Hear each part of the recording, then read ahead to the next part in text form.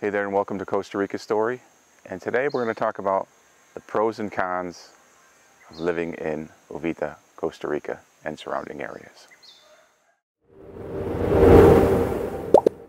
I'm going to give you 10 reasons to love Uvita, followed by 10 reasons why Uvita may not be right for you. And we're going to start with the positives first.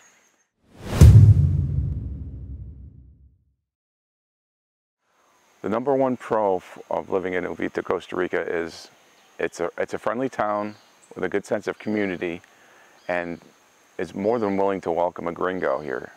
So if you have some Tico friends and get involved in the community, it really will enrich your life. There's a lot of community events and seasonal events that will help you um, integrate into the community if you participate. So the opportunities are there.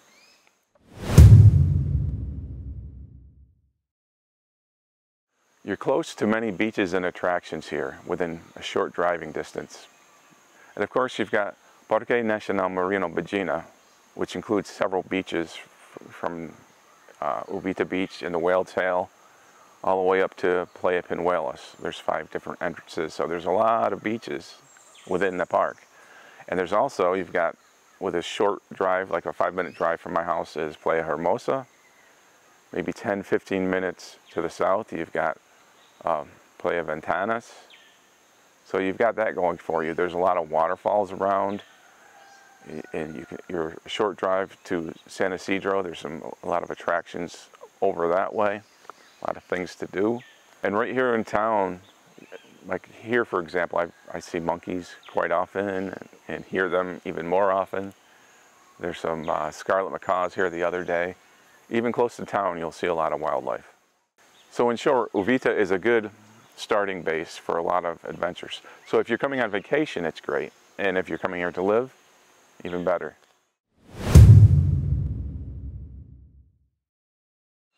So San Jose Airport is not terribly far from here. If there's not much traffic, you can do it in three and a half hours. It's more common for it to be a four or five hour drive. And during the rainy season, you, you really don't know. But it's a paved road all the way to San Jose from Uvita. So thinking more about this, this one, it, it depends on your perspective because it, it could be a pro or it could be con. To me, three and a half hours on a good day to get to the airport isn't really too bad.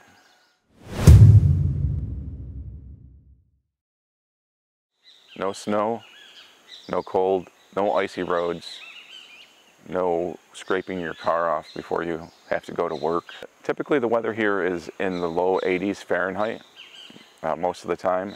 It's during the dry season, it gets maybe 10 degrees warmer. That's why I'm, it's the morning right now and I, it's, it is the dry season. It, it's uh, March. So uh, the morning time is the time to get things done here during this time of year. Well, actually during any time of year, the morning is the best.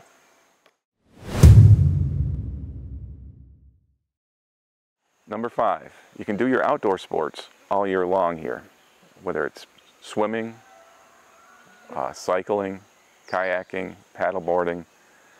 You can do that all year here. Back when, when I lived in upstate New York, I couldn't do that. And there's other sports like running and things like that that are more comfortable to do, you know, in the, in the nice weather as opposed to running on a frozen road or something. Made it, here, it, if you're going to do an outdoor activity, it, you tend to want to do it early in the morning before the sun gets up too much. That's your, that's the main inhibitor would be the sun. In the rainy season, it gets a little rainy. You have to work your, your workouts around that. But overall, you can do your, your outdoor activities all year round here. So that's a huge plus to be able to do your, your outdoor activities all year and not have that gap of winter where you can't go outside and, and do these things.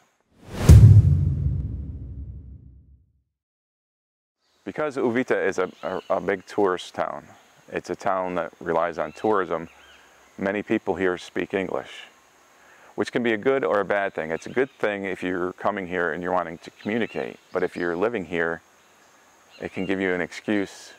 It can make you lazy and not work as hard on your Espanol. So it's a double-edged sword.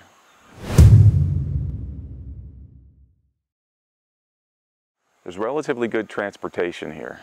I mean, we don't have subways or anything like that, but there's regular bus routes that go through quite quite regularly, and uh, there's a lot of taxis that can take you around. We don't have Uber here in Uvita, but I do have a friend that has taken an Uber from San Isidro to Uvita. Problem is you can't get a Uber from here back to San Isidro or wherever. And Uvita does have rent-a-cars readily available here. And you can, and while you're here, you can rent a scooter, you can rent a bicycle, you can even rent a, um, an ATV. So as far as transportation goes, Uvita's got you covered.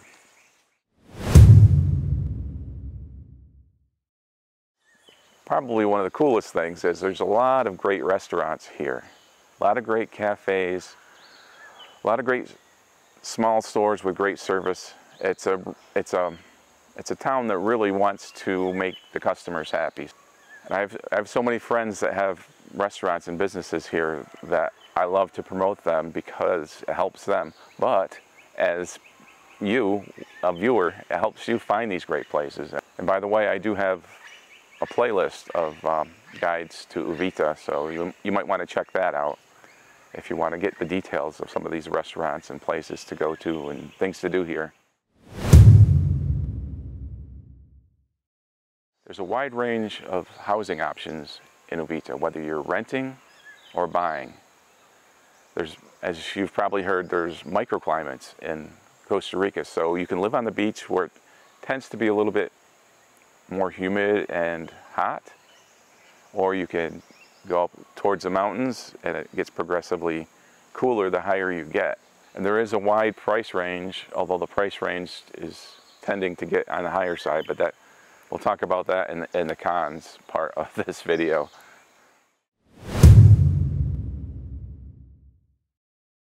Uvita is a growing town and with a growing town comes business opportunities. So for certain skill sets, there's opportunities for you to start a business and make money here. That's not to say every business that starts here is going to succeed, so your mileage may vary.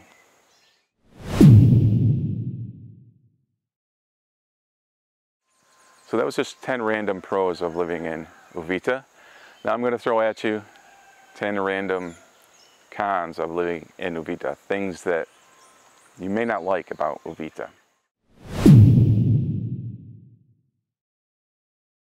So the first negative thing about living in Uvita, Costa Rica is it's related to the, one of the uh, pros. You live close to Parque Nacional Marino Ballena with its beautiful beaches. Five separate entrances, several different beaches from Punta Uvita and Playa Uvita all the way down to uh, Playa Pinuelas, another beautiful beach. It's a great beach, but the catch is if you're not a resident here, you've got to pay $6 plus tax every time you go to the beach, which, which ends up being very close to $7 USD. So that's a big hassle. I mean, that, that adds up after a while. When I first got here, I think, oh, that's not a big deal, but it is. Having to pay that does keep me from going to that beach as much as I would like. And another bad thing about this is they only accept credit cards. So you have to bring your credit card and wallet to the beach, which is a pain. Also, if you have a dog, which many people do, dogs are not allowed in Parque Nacional Marino Ballena. That includes the whale tail, it includes Playa Arco, it includes uh, Playa Pinuelos, um, Playa Ballena, uh, Colonial, Colonial, uh, Playa Chaman, there's the, the whole park, dogs are not allowed. So if walking your dog on the beach is part of your Costa Rica dream, maybe living close to Parque Nacional Marino Ballena, like in Bahia and Uvita, maybe not be the ideal situation. You're within close driving distance to Playa Hermosa. It's only five minutes, throw the dog in the car and go.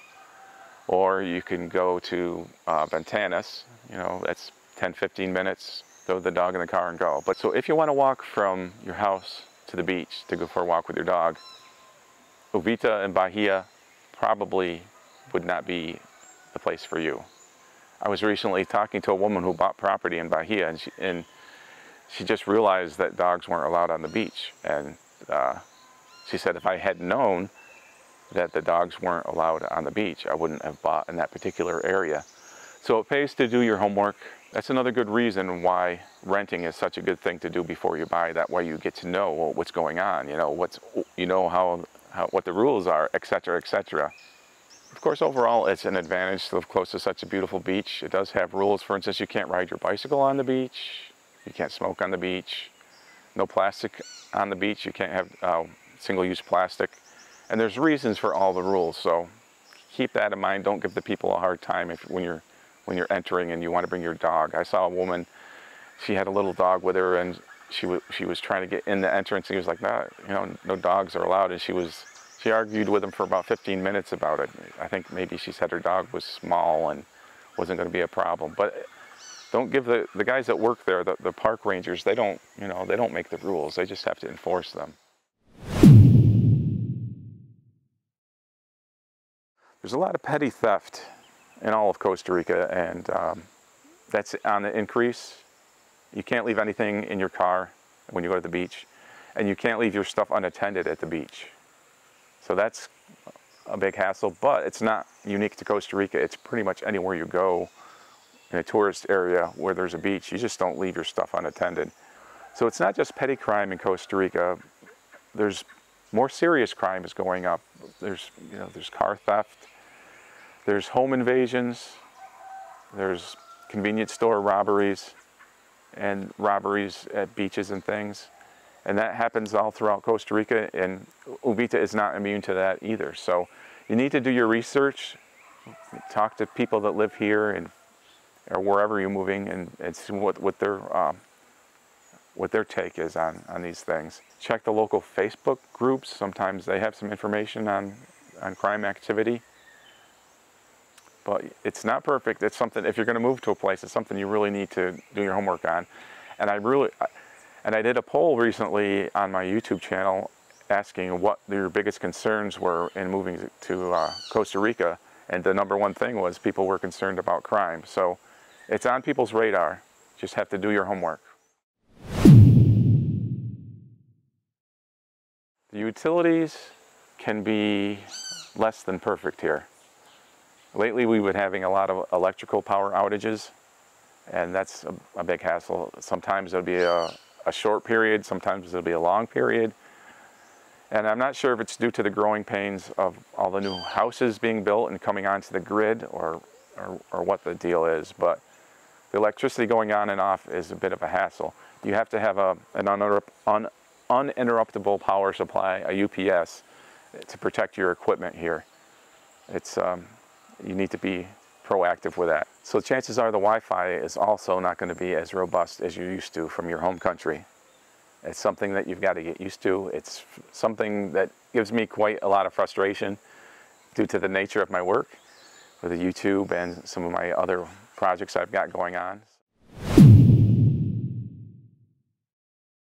So Uvita, Costa Rica, because of its seasons, the dry season and the rainy season, present you with two separate worlds. During the rainy season, you'll experience heavy rain, downpours, and road closures due to flooding, road closures due to landslides, and it just seems like the rain will never end.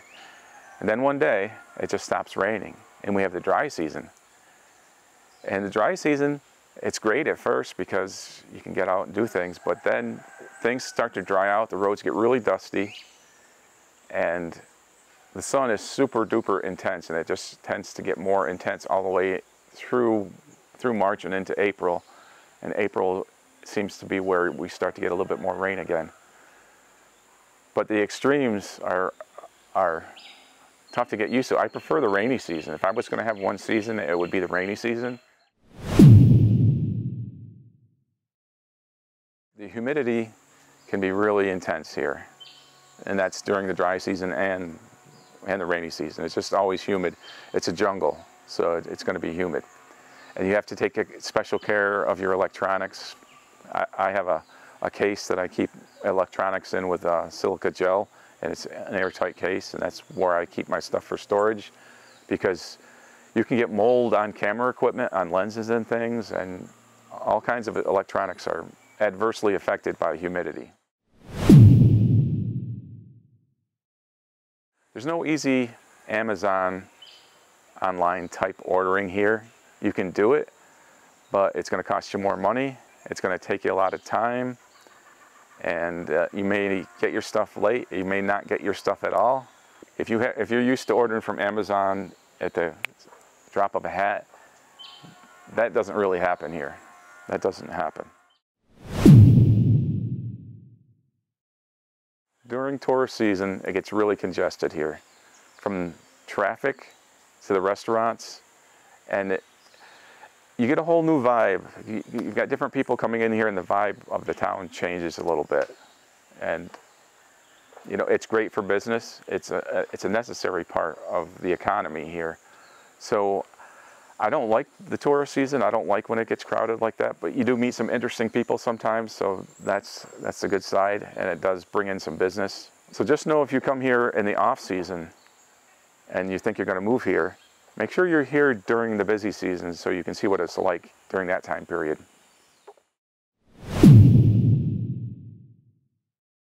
Here in Uvita, we do have some resident homeless people that do panhandle, and you may encounter them at the grocery store or, or different places in town.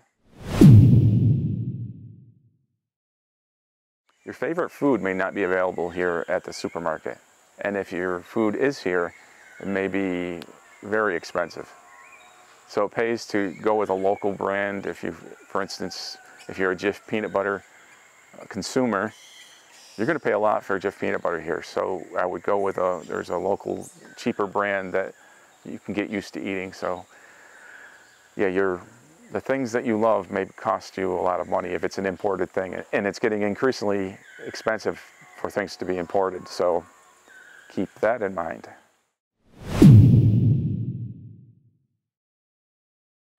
Living in Uvita is expensive. And due to the fact that it's a supply and demand thing, a lot of people want to come here to live. A lot of people want to come here on vacation. So the cost of housing is expensive, the cost of rentals is expensive, the cost of food is expensive. So you're paying, your, what do you call it, the tourist tax for, for living in a, in a beautiful place like this, the, a paradise tax maybe you can call it. But if you're living in Uvita, it's going to cost you a lot more money than maybe you think. So do your research, come here on vacation just to see what the prices of things are. Well, that's all I've got for this episode of Costa Rica Story. Make sure you like if you liked it, subscribe if you want to, but most importantly, share this video and this channel with a friend. Costa Rica Story, costaricastory.com. Hasta luego.